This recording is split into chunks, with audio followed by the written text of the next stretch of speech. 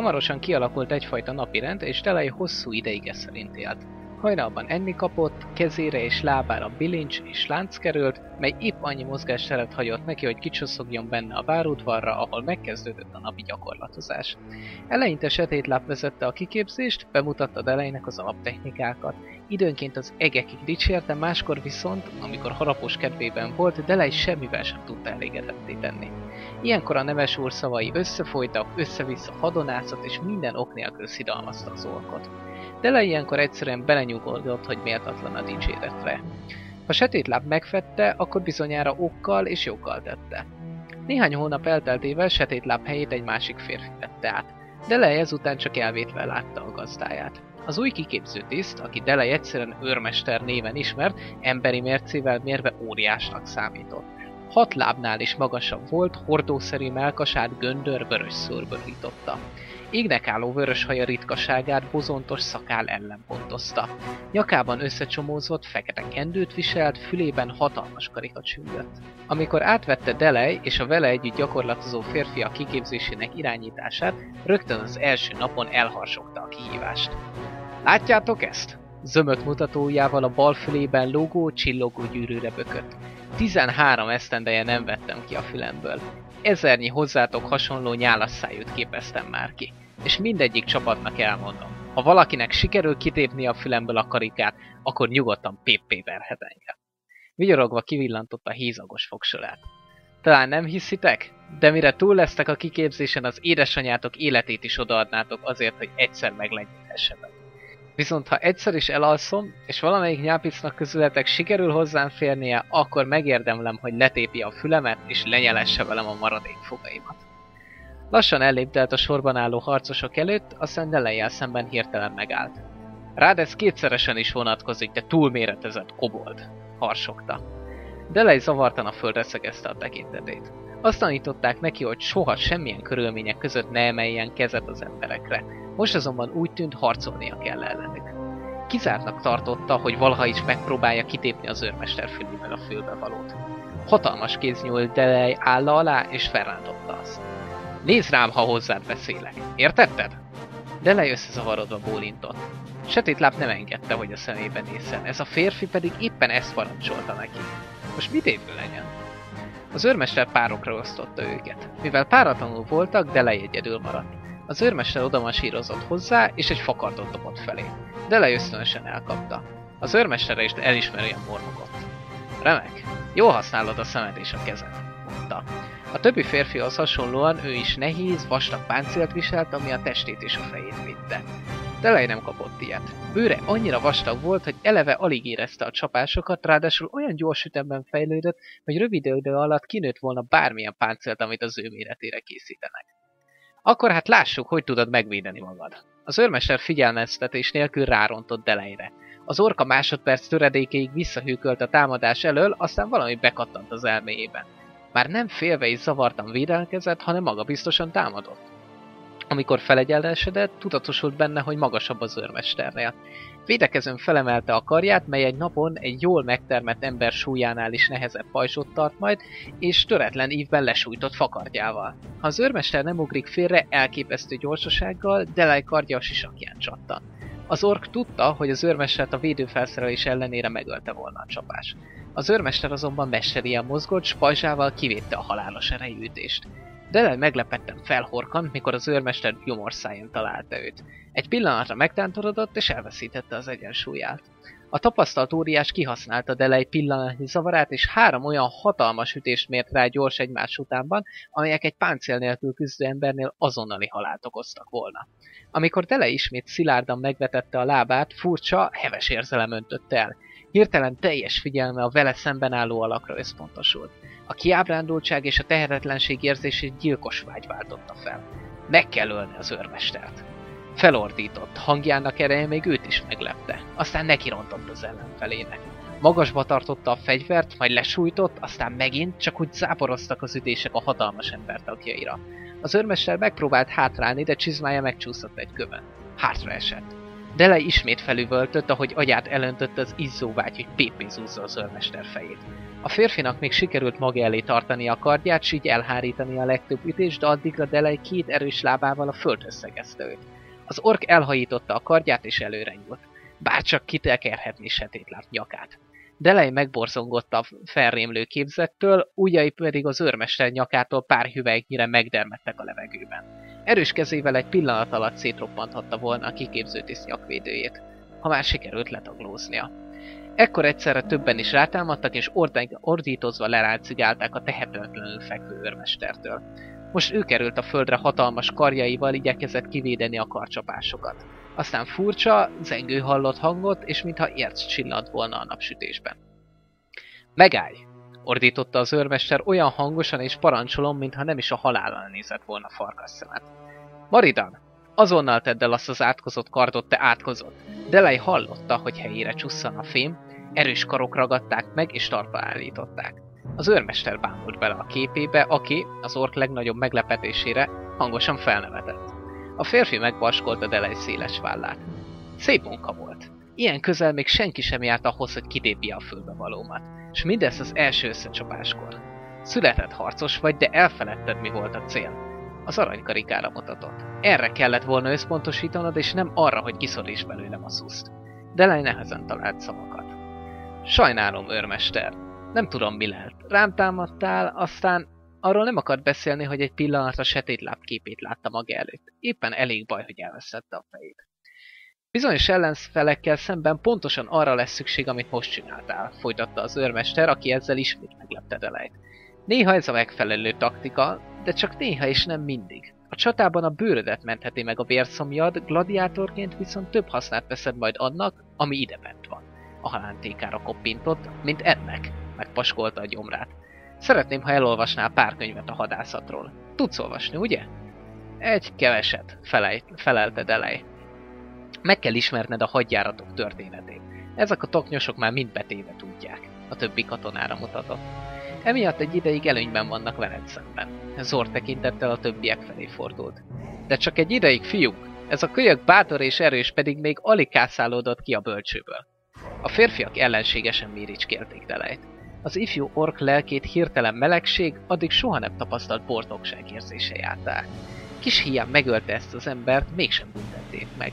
Sőt, megparancsolták neki, hogy tanuljon, pallérozza magát, mert csak így kerülhet tisztába azzal, hogy mikor kell ölni és mikor kell... Mit is csinálni?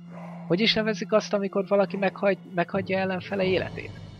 Örmester, szólalt meg, s közben attól tartott, hogy már a puszta kérdésért szigorú büntetésben részesül.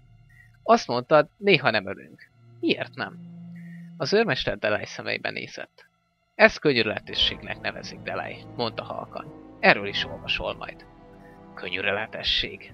Delay maga elé mormolta a szót. Édesen csengett. És te hagytad, hogy ezt tegye veled? Bár a megjegyzés nem Tammis fülének szánták, setétláb éles hangját messziről hallani lehetett. A szolga félbehagyta a csizmapucolást, és fülelni kezdett a gazdája és a kiképző tiszt közszajló beszélgetésre. Ezt nem tartott a hallgatózásnak, inkább a családja üdvéhez életbevágóan szükséges elővigyázatosságnak. Ügyes harci húzás volt, felelte az őrmester, de nem úgy, mintha védekezne. Úgy bántam vele, mint bárki mással. De lej nem bárki más volt, hanem egy ork. Vagy, vagy te nem vetted észre? Dehogy nem, felelte az őrmester. Tamis úgy helyezkedett, hogy belásson a félig tárt ajtón. Az őrmester a legkevésbé sem illett setét lábgazdagon díszített fogadószobájába. Meg sem merem kérdezni, miért akarja kegyelmed ilyen alaposan kiképezni. Jobb is, ha nem teszed. De ugye alaposan ki akarod képeztetni? kérdezte az őrmester. Pontosan ezen dolgozom. Azzal, hogy hagyod, hogy majdnem megöljön. Azzal, hogy megdicsérem, ha ügyesen harcol, és megtanítom arra, mikor érdemes szabadjára engedni vérszomjas ösztöneit, és mikor kell hideg fejjel küzdeni. Dörmögte maga elé az őrmester. Tamis csak nehezen állta meg, hogy el ne mosolyodjon. Nyilvánvalóan az őrmester is hasonló gonddal küzdött. Ám nem ez látogatásom valódi célja. Úgy hallottam, megtanítottad az olvasásra. Szeretnék megmutatni neki két néhány könyvet. Tamisnak leesett az álla. Micsoda? üvöltött setétláp. Tamis megfeledkezett arról, amivel látszólag foglalatoskodott. Egyik kezében egy sáros csizmával, a másikban egy sárkefével éberen hegyezte a fülét. Amikor finoman megkocogtatták a vállát, kis hiány kiugrott a bőrével.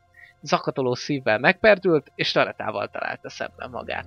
A lány huncuton rámosolygott, aztán az ajtónyílásra szegezte a tekintetét. Pontosan tudta, mit tesz az édesapja. Tammis megszégyenülten állt, ám kisvártatva felülkerekedett rajta a vágy, hogy megtudja, mi következik ezután. Ujját a szájához emelte, mire Taretta sokat mondóan bólintott. Miért tanítattál meg egy orkot olvasni, ha nem akarod, hogy használja a tudását? Sötétláp összefüggéstelen szavakat mormolt válasz gyanán. Bármit is vélsz róla, mondta erre az őrmester, elég esze van, és ha azt akarod, uram, hogy megfelelő módon kiképezzem, akkor értenie kell a hadicselekhez, a térképekhez, a stratégiához, az ostrom technikához. Az őrmester az ujján számolta, hány dologhoz kell érteni edelejnek.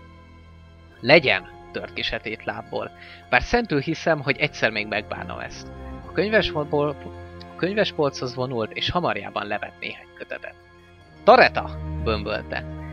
Az idősebb és a fiatalabb róka Yuki összerezzent. Tareta septében lesimította a haját, és negédes képpel benyitott a szobába. Pukedlizett, és alázatosan megkérdezte. Mit óhajtasz, uram? Nesze! Setét láp a lány kezébe nyomta a könyveket. Nagyok és ormótlanok voltak, tehát te alig bírta megtartani őket. A gazdájára pillantott az orráig érő kötet halom felett, amely mögül csupán ékék szeme látszott ki. Vidd el ezeket Delej őrzőjéhez, hogy adja be neki. Igenis, uram, felelte Tareta. Mintha ez a világ legtermészetesebb dolga lenne, és nem a legmegdöbbentőbb utasítás, amit valaha hallott gazdája szájából. Kisé nehezek, uram. Elmehetek előbb haza, hogy kerítsek egy zsákot? Úgy könnyebb lenne cipelnem őket. Minden szavával és mozdulatával az engedelmes szolgálólány képzeletét keltette. Csak Tammis és Klannia tudta mennyire éles elme és nyelv rejlik a meghunyászkodó ábrázat mögött. Sötétláp ellágyult és megszínyogatta a lány szünke fürtjeit. Persze, gyermekem, de siess vissza, megértetted? Természetesen, uram. Köszönöm, uram. Úgy tűnt meghajlással próbálkozik, de aztán meggondolta magát és kiment. Tamis becsukta mögötte az ajtót. Tareta csillogó szemmel fordult felé. Ó, apa, lehelte halkan, hogy oda bent ne hallják. Végre látni fogom őt. Tamis kétségbe esett. Azt remélte, leányát már nem érdekli annyira az boldogulása. Nem, Tareta. Az őrnek adod majd oda a könyveket. Tareta ajka lebigyedt, elszomorodva fordította el a fejét. De hát, mióta Faralin eltávozott közülünk, ő az egyetlen kisöcsém. Ő nem a kisöcsét, hanem egy ork. Egy fodállat, aki a fogolytáborba vagy arénába való. Ezt nem szabad elfelejtened. Tamis nem akarta elkeseríteni a lányát, de a saját érdekében így kellett beszélnie vele. Nem szabad, hogy észrevegyék. Érdeklődik az ork iránt. Csak baj származhat belőle, ha sötétlem megveszeli. Delej az izgalmas nap után mélyen aludt. Amikor kinyílt cellája altaja, álmosan felnézett, aztán talpra ugrott, az őrök egy zsákkönyvet cipeltek be neki. Az őrmester neked küldette ezeket. Azt üzeni, hogy olvasd el mind, aztán majd megbeszélitek, mondta az őr. Hangjából megvetés csendült ki, de Delej rá se hederített. Hozzászokott ehhez, az őrök mindig megvetően szóltak hozzá. Becsukták és rázárták az ajtót. Delej szemügyre vette a zsákot. Termetét meghazudtoló óvatossággal bontotta ki a madzagot és benyúlt a zsákba. Ujjai valami szögletes és kemény dologra zárultak rá, amit könnyedén kiemelhetett. A tapintása ismerősnek tűnt. Delej félve kivette, és szellája félhomájában megvizsgálta a tárgyat. Valóban könyvet tartott a kezében. Hangosan felolvasta a címét. Légura Föld Szövetségének története. Mohon kivett még egyet, aztán egy harmadik kötetet is. Mindegyik a hat történetről szólt. Amint felcsapta az egyiket, valami kiesett belőle, és a cella szalmával leszort hullott. Apró, gondosan összehajtogatott papírdarab volt. Tele kíváncsian, kimért mozdulatokkal széthajtotta a papírost. Ez az üzenet állt rajta. Ahogy olvasott, szájával megformálta a szavakat, de ki nem ejtette őket. Kedves Delej, gazdánk megparancsolta, hogy vigyék be neked ezeket a könyveket. Annyira örülök ennek, nem tudtam, hogy megtanítottak olvasni. Én is megtanulhattam, és nagyon élvezem. Hiányzol, és remélem jól vagy.